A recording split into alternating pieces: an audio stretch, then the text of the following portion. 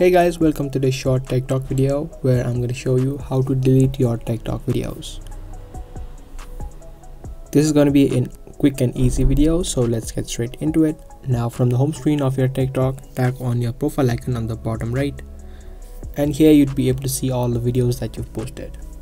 Now to delete any of the videos, you simply open up the video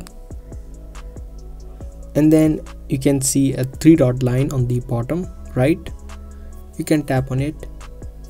And on the bottom you'll see a couple of things such as analytics. If you swipe this panel to the right you can see an option of delete. You can tap on delete and again delete. And as soon as you do that you can see that your video now has been removed from your profile on tiktok. So i hope you guys found this video helpful. If you did subscribe share and also give this video a thumbs up if you also want to get notified for more future videos make sure you turn on the notifications. That's gonna be all for today. Thanks for watching